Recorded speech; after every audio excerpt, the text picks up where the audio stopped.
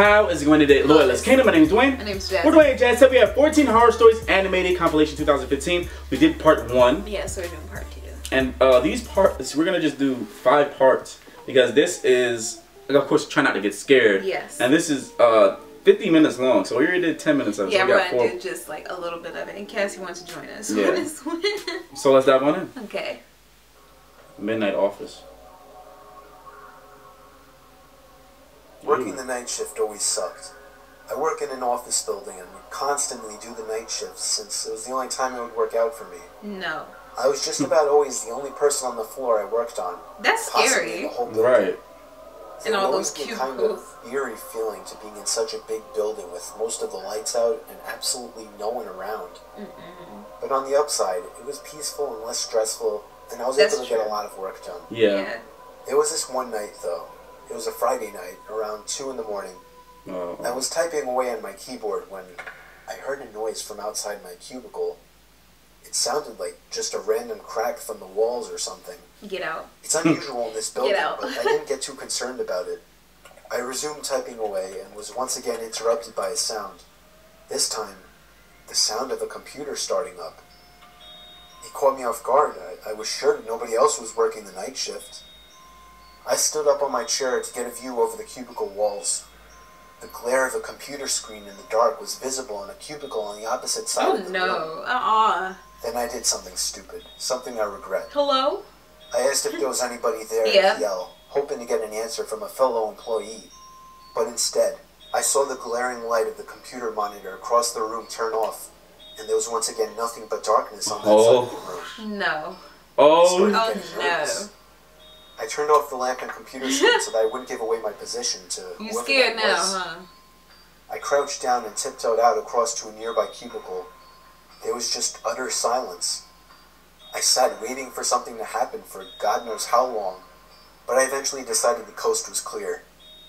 I tiptoed down past all the cubicles until I reached the opening near the exit door to the stairs and elevators, and that's when I realized that my fearful suspicion was true.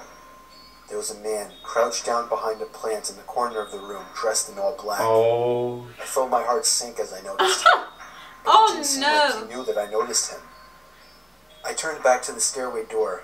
There was no way I was going to wait for the elevator and take a chance. Uh, I casually opened the door and closed it behind me, proceeding to walk down the stairs.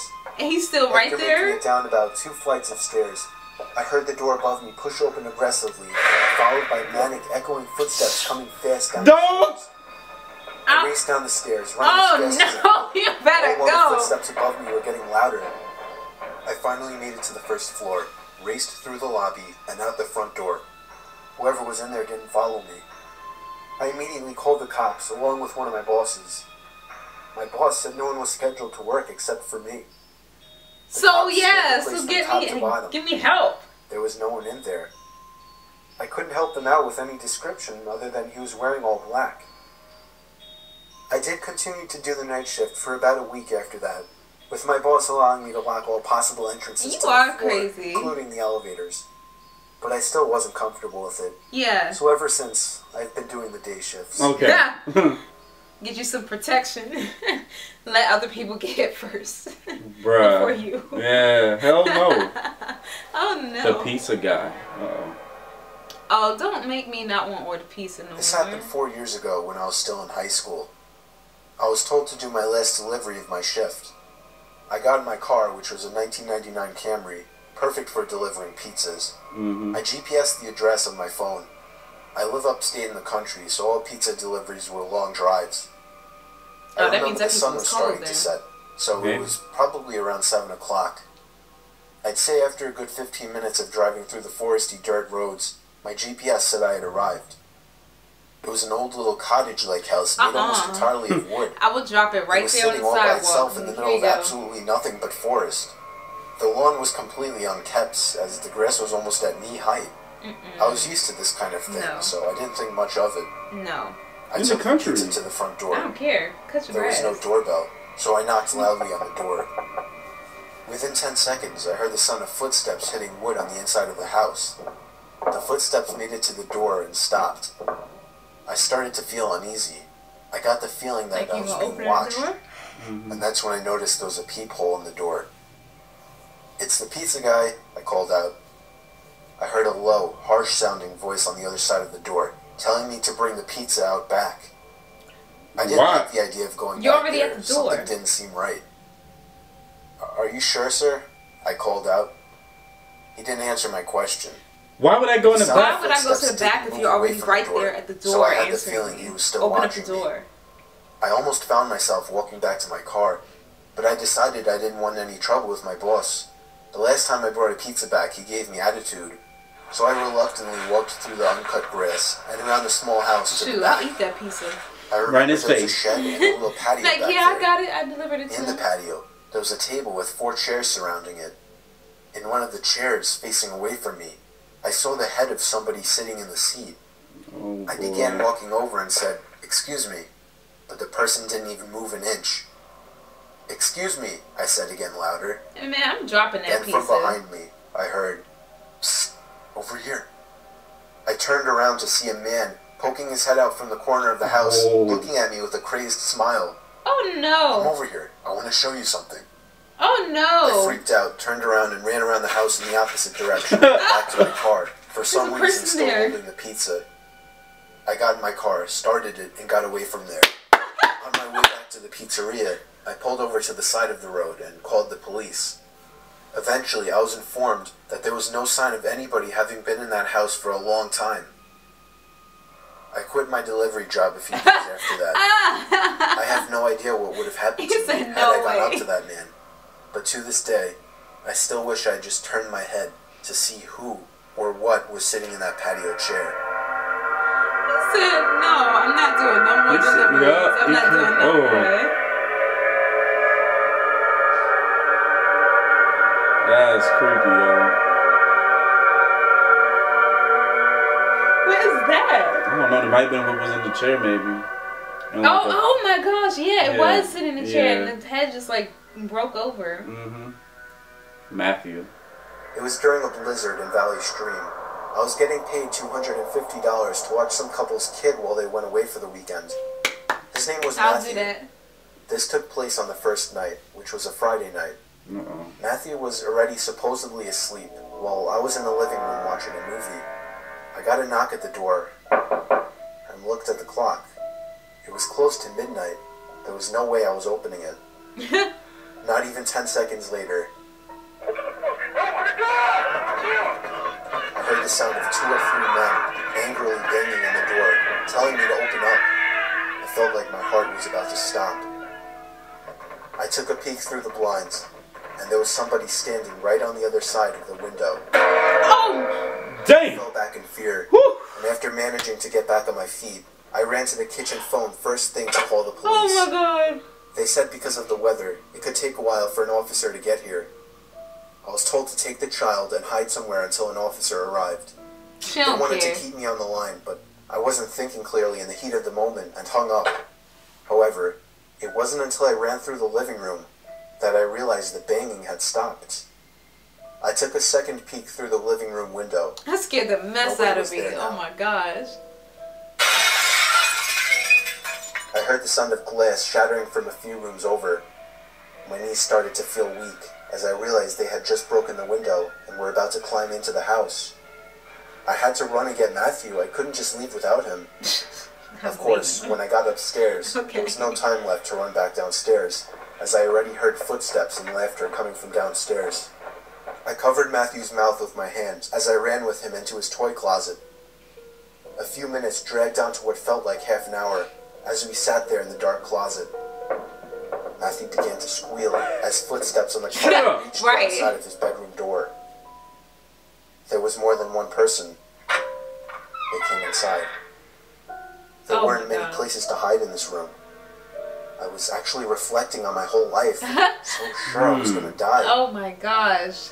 We heard the sound of a police siren outside, even from in the closet. And then I heard one of the men in the room mutter, Oh shit. Oh no. I opened the door back up as I heard at least three pairs of footsteps hurriedly rushing down the stairs.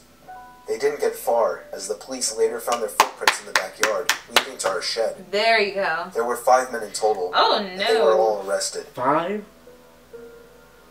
Hmm. Oh no. That last one looked like he is not gonna be sorry. Nope. Like, yeah, I did it. Oh, Anthony. Ooh, look at that animation. I don't the like side. that. This happened when I was 15 years old. My best friend Anthony wanted me to come over for the night since his parents would be gone all weekend. That's I rode my bike case. over and Parents put it in his go on. backyard before letting myself in through his back door. We played basically every video game he had, from FIFA all the way to Call of Duty, with popcorn and other junk food spilled out all over the floor. As the night progressed, That's we moved us. from video games to watching half a movie and getting Playing bored zombies. to doing prank calls at close to 10 o'clock. Anthony made a few calls to different pizza places. When it was my turn, I just dialed a few random numbers in hopes to get someone at their house. On, say, my fourth attempt, I finally reached somebody. A guy with a deep and rough voice picked up, answering with a yeah instead of a hello. Oh, that's how you Anthony's know. laughing in the background made me stumble with my words mid sentence, ultimately cracking up into laughter. I had never done a prank call, so I sucked at it. The guy on the other end was silent. Oh no. I regained a straight face and tried to continue with the call. It went something like this. Uh, sir, would it be alright if I borrowed one of the wheels from your car? What's your name, kid? My name is Bob. Really? You sure it's not Anthony? It hit me like a brick. I looked up at Anthony, Oh, whose no. face was noticeably full of fear. I hung up the phone, not wanting to be on the line with whoever that was for another second. Anthony, who the hell was that? I asked him. I, I I don't know, he told me. Does your caller ID info display your name or something? Right. No, it shows my dad's name. We hopped on the computer and did some oh. research, trying Oh, to figure no. out how it was possible to get someone's name through their phone number. I mean, It didn't make sense how he now. could get Anthony's name so quickly. He was way too young at the time to be on any of those personal information sharing websites. Oh. mm. We ended up asking a question on Yahoo Answers, since no one had a similar experience. The question turned up no answers. I suggested he call his dad, but he said he wasn't supposed to have anybody over for the weekend, so he didn't want to call. We planned on sleeping in the living room, so You we just screwed. resumed watching the movie that we Mhm. hadn't You're so finished from earlier. Right after the phone call had left my mind, me and Anthony looked at each other when we heard his front storm door opening, and then the doorknob to the front door began to turn. It only was able to turn about halfway before the lock restricted it. Anthony turned off the TV, and I went over to the window to see who it was. We go with I this spread again. the blinds open. There was a tall guy standing outside. He noticed the blinds moving and turned to look at me. Uh-oh. I practically threw the blinds back into place. Me and Anthony hid in the kitchen, listening Got for a any knife. more noises. That's why I We said get you a of the knife the and hide opening, somewhere. as it was right outside the kitchen window. God damn it, I said. I forgot to shut the back door. Anthony urged me to run and shut it. I would have been made it like, to you the what? hallway leading to his back door and froze. There was a silhouette standing outside the back door. Run and I don't think he noticed me, but he was surely looking into the house. He opened the door and stepped inside. I tiptoed to the kitchen and motioned for Anthony to follow me upstairs. Get the knife. We made it to his room as quietly as possible, pulling the door shut to avoid making any noise. We crawled under his bed. He had cloth covering the bottom of his bed, so you couldn't see anything under it unless you actually moved the cloth. Punch his ass. That's when you stab him. The doors took the knife. downstairs all opened, each one getting closer to the stairs. Thumps finally began up the stairs, and he was right outside the door now. Oh my god. The door to the room opened. I could hear Anthony's breathing. It was too loud. I would have been like, shut up. Footsteps moved over to the closet, and then the closet I would have opened. done one of those. I could hear the coat hangers being slid around as the fabric of the jackets and coats rubbed against each other. Hmm. Footsteps moved over to the bed and stopped. I felt like my heart was about to explode out of my chest. Anthony's Damn! breathing was too loud. I had to cover his mouth with my hand. yes. Nothing but silence in the room now. We laid still for so long, I almost thought he wasn't even in the room anymore. I moved my hand away from Anthony's mouth and whispered in his ear, You think we can make a run for it? No. He was about to answer when the most disturbing, memory haunting scream I'd ever heard filled my ears as Anthony was seemingly dragged out from under the bed. I crawled out and saw him struggling with the man, Beat his ass. desperately looked around for anything to use as a weapon. I settled with the screwdriver sitting on his Oh, nightstand. okay. I thought I that was a hurried over to the man and drove the thought it was a match, screwdriver too. into his back. He let go of Anthony as he let out a scream of agony, giving us time to get the hell out of the house. Running onto the road would give away our position too easily. Oh my god. It would take too long to make it to his neighbor's house. We dove for the tree line in the woods and took cover behind a bush, watching the house. The back door opened as the man stepped outside, looking around the backyard. He then looked out to the woods. I felt his eyes pass me as he scanned through the tree line. It seemed that it was too dark for him to see us. Then, he turned his head back in our direction. I ducked behind the bush. That's so Joe, scary. he's coming.